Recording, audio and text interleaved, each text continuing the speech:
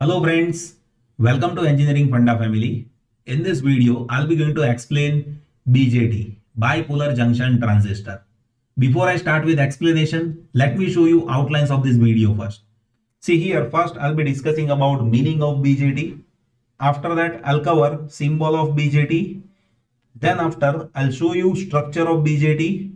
After that, I'll be discussing about basic fundamentals of BJT. And at last, I'll be discussing about advantages, disadvantages and applications of BJT. So let us talk about meaning of BJT first. See BJT means bipolar junction transistor. So BJT is bipolar device. See both polarity, electrons and holes participates in conduction process. So whenever current flows through BJT device, at that time current is happening due to electrons and holes. That's why BJT is bipolar device. Current flows due to both polarity, electrons and holes. In unipolar, current may flow due to electrons or due to holes. Like you can have unipolar devices like FET. But here BJT is bipolar device. See junction means here we have two PN junctions with BJT, collector base and emitter base. That is I'll show you in structure. At that time you will get to know like how exactly junctions are there. There are two PN junctions with BJT, collector base and emitter base. Transistor means it has transfer resistance. See BJT operates in three modes. Active, cutoff and saturation. In these three different modes, resistance of BJT changes. Means you can say it has transfer resistance. Resistance is getting transferred with respect to operational region, right? That even I'll show you in upcoming videos like how resistance changes with respect to different modes of operation. So based on its name, you can understand so many things about BJT. See, it is bipolar means conduction happens due to electrons and holes. There are two junctions, emitter base and collector base junction. It has transfer resistance means resistance of BJT changes with respect to its region of operation. Now let us talk about symbols of BJT. See basically there are two categories of BJT, PNP and NPN. And there are three terminals with BJT collector base emitter. If you talk about symbol, then you see here we have base, here we have base, and here we have collector, and emitter is having arrow. Emitter is having arrow. See, with NPN transistor, arrow is there in outward direction. In NPN transistor, arrow is there in outward direction, and in PNP transistor, arrow is there in inward direction. That is how basic symbols are there. There are three terminals, collector, base, emitter. Base is connected like this, collector is over here and emitter will be having arrow. Emitter will be having arrow. With NPN, arrow is there in outward direction and with PNP, arrow is there in inward direction. That is how basic symbols are there. Now, I'll explain you structure of BJT. See, I have told you in BJT, we have three terminals. You see, emitter, base and collector. And there are two types of BJT, PNP and NPN. So here we have PNP structure. From name itself, you can understand. You see P-type layer, N-type layer and P-type layer. PNP. In NPN, we have N-type layer, P-type layer and N-type layer. NPN. See, middle layer that is base. Middle layer that is base. Here in PNP, you see collector is connected over here and emitter is connected over here. And there are two junctions. This PN junction that is of emitter base junction and this PN junction that is of collector base junction. Right. Here with NPN also, you see, this is emitter base junction and this is collector base junction, right? Now let me talk about parameters of this structure. If you talk about what will be the size of these layers, then see collector is having highest size, collector width that is highest, right? You can observe here from diagram itself, you can see collector is having highest size, right?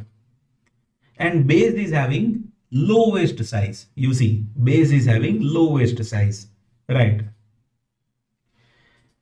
If you talk about doping concentration, doping concentration means with impurity we form n-type and p-type material.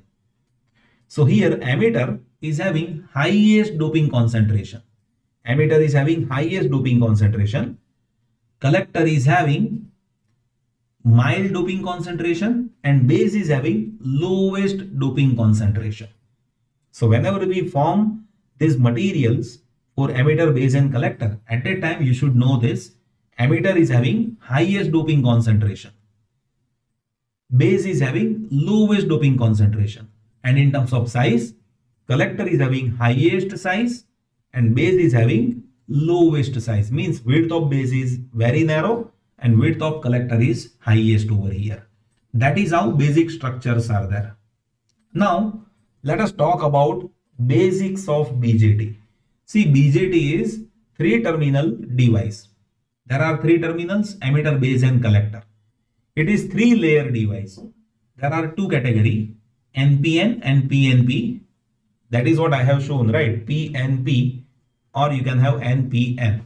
So it is three terminal three layer device and two junction device. There are two junctions, emitter base junction and collector base junction, right?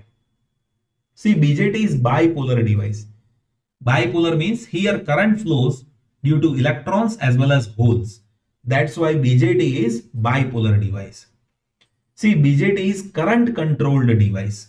So in working, I'll show you like how we control the current. But one should know BJT is current control device where we can control collector current with the use of base current.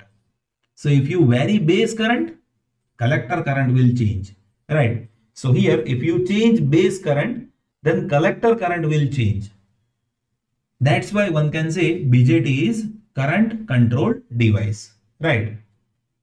See, width of base region is lowest and collector region is highest. That, that is what I have already told you. Collector is largest in size and base is having narrowed width, right? Relatively. So collector is having widest width, right? And base is having narrowed width. See, doping concentration of emitter is highest and base is lowest. Doping concentration of emitter is highest. See, this emitter that is having highest doping concentration and collector is having moderate doping concentration and base is having lowest doping concentration, right? Now, based on doping concentration, what will happen? There will be a formation of depletion region, right? See, emitter is having highest doping concentration and base is having lowest doping concentration. So, emitter base junction built-in potential is highest. Built-in potential that happens due to depletion region over here. So here when you form PN junction, at that time at the side of P type, there will be formation of negative ions. At the side of P type, there will be formation of negative ions, right? And at the side of N type, there will be formation of positive ions. And because of these ions, here there will be depletion region and these ions will be generating built-in potential as emitter is having highest doping concentration, built-in potential over here at emitter base junction that will be higher. And here, see this base is lightly doped and collector is moderately doped. So here, built-in potential that will be that will be less compared to emitter base junction. Why? The reason is emitter is highly doped. That's why. Collector is lightly doped compared to emitter. So here built-in potential that will happen due to ions. You see at this junction, at the side of p-type, there will be formation of negative ions. and at the side of n type there will be formation of positive ions. So because of these ions here there will be built-in potential. But this built-in potential at collector base junction that is less compared to built-in potential over here at emitter base junction. Now one more thing that you need to understand. See as emitter is highly doped, width is less over here and width is high over here, right? So potential is higher over here, but width is less.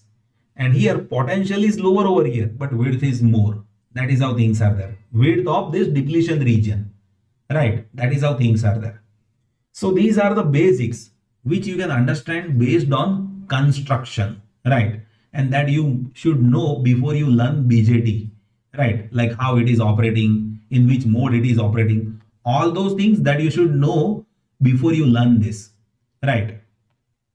Now here let us talk about advantages so here, when it comes to advantages, one should know BJT is having high voltage gain, right? It requires lower supply voltage and lower power dissipation is there and size is small, right? When it comes to disadvantages, then it is having dependency on temperature, it is having lower switching speed compared to MOSFET, and it is having bad noise figure compared to MOSFET. So usually in VLSI industries, you will be observing we are using MOSFET, we don't use BJT. Why? The reason is switching speed is less and it is having bad noise figure. But in basic electronics, we use BJT. In very large scale integration circuit, we use MOSFET. And when it comes to applications of BJT, then there are so many applications like we can use BJT as a switch, we can use BJT for filter, we can use BJT for oscillator in amplifier so all these applications that I'm going to explain you in future coming videos with the use of BJT in this lecture series of basic electronics. I hope you have understood this. Still, if anything that you would like to share, please note it down in comment section. I'll be happy to help you. Thank you so much for watching this video.